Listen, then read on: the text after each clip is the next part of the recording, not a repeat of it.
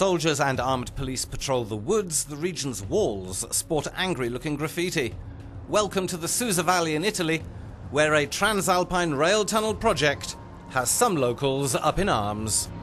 The future Franco Italian high speed rail link from Turin includes a 57 kilometre long tunnel from here into the Maurienne Valley in France and on to Lyon. We couldn't film in the exploratory tunnel that's already being carved out, such as the climate of mistrust that's developed here over years of resistance to the scheme. In fact, it was impossible to get pictures inside because of the high security. But Luca Giunti found us a narrow track through the mountains. He knows this terrain by heart. He's a park ranger and fiercely anti-tunnel. The financial, energy, and environmental costs are so high it will never make money. The investment won't make a profit. Over the last 20 years, freight and passenger traffic between France and Italy has constantly declined. The Antis say the existing line is good enough or could be upgraded and are calling on the EU to withdraw its promised financial aid. Another major worry is the groundwater supply, and the locals fears the construction will affect the water table, cutting their villages off.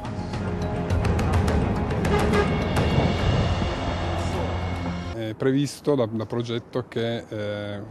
the plans, tunnel building requires a thousand litres of water per second, or consumption equivalent to a city of one million people. The mayor of Susa supports the project. After discussions with the project engineers, she feels the risks are manageable and the economic advantages will materialize.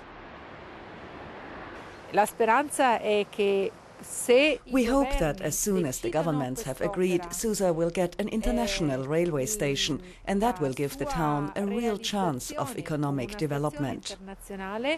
possa dare possibilità importanti alla città di Susa. It's a position shared by Modane's mayor on the French side of the tunnel. Here it's the lorry that's the enemy, and the train is a blessing for the narrow valley and its fragile ecosystem. It will also help the chronically underdeveloped economy. L'important, c'est aussi de trouver du travail en cette période. What's important is finding work right now. This big project, for both of our valleys, will be a breath of fresh air for the next 10 to 15 years. Une bouffée d'oxygène pour les 10 ou 15 prochaines années. The Lyon-Turin line is a key piece of the EU's planned high-speed rail network, say its supporters, a priority project linking Lisbon to Budapest and, in the long term, on to Kiev. A pipe dream, say people like Emmanuel Coup, who writes a French anti-tunnel blog. He argues the lack of cross-border traffic means no new line is needed, especially as the old one's just been modernised. quand on parle d'infrastructures vétustes, when I hear people saying the old line's worn out, well, ça me laisse sans voix. I don't know what to say. Look at it. Some sections have been completely rebuilt as new, like this bridge, and a new line will be extremely expensive. 25 billion euros buys 500 new hospitals, and the French Public Accounts Committee has already established it won't make money. Despite the committee report, which slammed the project's costs spiralling in a decade from 12 to 26 billion, the president of the French Rhône-Alpes region is all for it, and he's ready for a scrap. Les échanges commerciaux vont s'accentuer. Trade is going to grow, not only between France and Italy, but Mediterranean and Danubian Europe. Today in France, only 10% of transalpine freight goes by rail.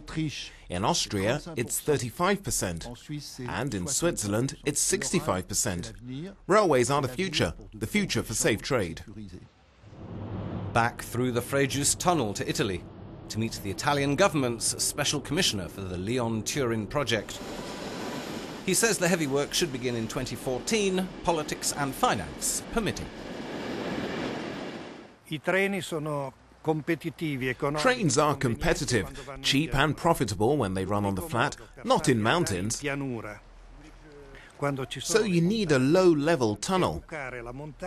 Today, trains have to climb 1,300 meters before going through, which needs three locomotives for each train.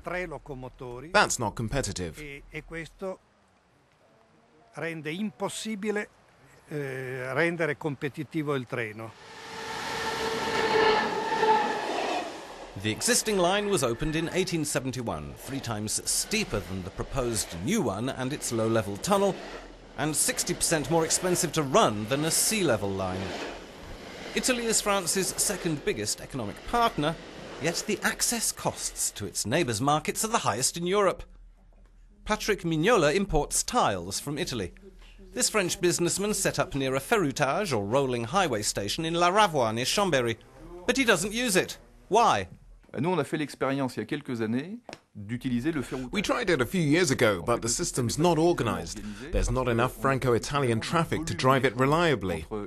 So, because there's not enough trade, no Turin-Lyon high-speed line, no low-level tunnel, the transporters organize things accordingly. Eh dans ce cas-là, les systèmes de transport s'organisent pas en conséquence.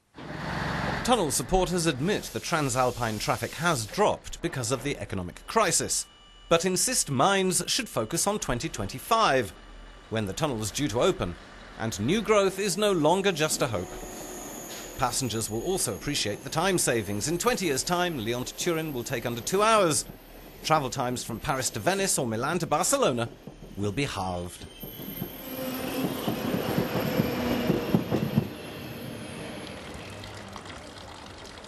But back in one of the Susa Valley's villages, Alberto, who's restored an old house and turned it into a bed and breakfast, agrees with the president of the mountain communities. The priority should be investment in anti earthquake projects, schools, or hospitals. It's like buying a Ferrari to nip down to the shops for some bread quicker, but when you get there, you've no money to buy any. That's what's wrong with this project. I don't think our economy can grow eternally. More, more, always more, more trade, and quicker. But it doesn't work.